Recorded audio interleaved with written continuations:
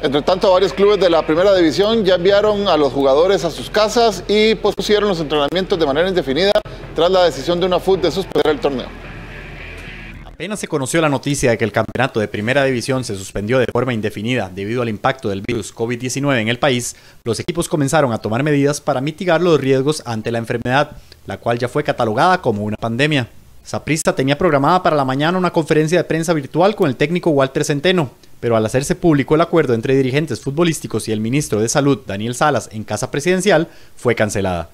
A los jugadores de inmediato se les notificó que debían marcharse a sus casas y mantener los cuidados y recomendaciones que el gobierno ha dado a nivel nacional. La posición siempre de, de Saprissa y, y, obviamente la de nosotros los jugadores eh, siempre fue la, fue, la, fue la misma. Ellos eh, en este caso nos, nos respaldaban. Obviamente era una incertidumbre que que iba a suceder.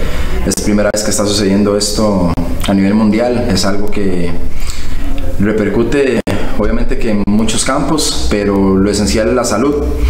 Y está el juego, eh, como te digo, lo más importante de la vida, nuestras familias, eh, somos seres humanos.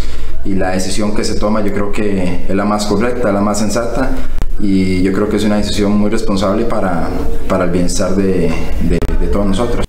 Además, los jugadores manifestaron que se les envió un plan de trabajo para desarrollar en sus casas, pues saben que la suspensión llega en un momento crucial del torneo y en caso de tener que regresar a las canchas no quieren volver dando ventajas un trabajo que, que, el preparador físico pues, pues, nos dejó presupuestado para cada uno de nosotros durante este parón de incertidumbre que vamos a tener, pero siempre vamos a tener diariamente un plan de trabajo que vamos a ir realizando en nuestras casas para estar físicamente bien y en el momento que se regrese pues estar físicamente de la mejor manera. Algo similar sucedió en Alajuelense, tal cual contó su director de comunicación Ferlin Fuentes. La liga impuso un plazo para estar fuera de prácticas colectivas de 10 días. En el caso de Liga Deportiva Alajuelense, la decisión momentánea es suspender las, las prácticas, inclusive desde inicios de esta semana se suspendieron todo lo que tiene que ver con escuelas de fútbol, liga menor, entrenamientos del el equipo femenino, porque ya la Unifoot había adelantado la suspensión del torneo. Y en el caso del primer equipo masculino, esta tarde tendremos una reunión en el estadio Alejandro Moreno Soto, donde estará Agustín Lleida, el presidente de la institución Fernando Campo, con los, jugadores para dar las pautas a seguir.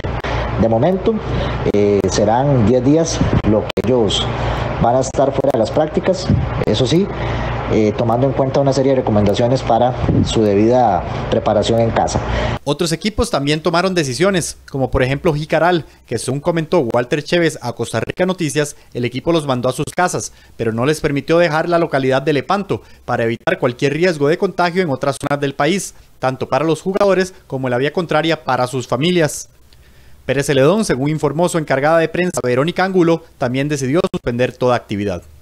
Mientras tanto, otros equipos aún definían cómo proceder, como por ejemplo Grecia, que comunicó que estaban analizando distintas opciones y propuestas, y Limón FC, que entrenará este miércoles y ahí le dirán a su planilla cómo actuar.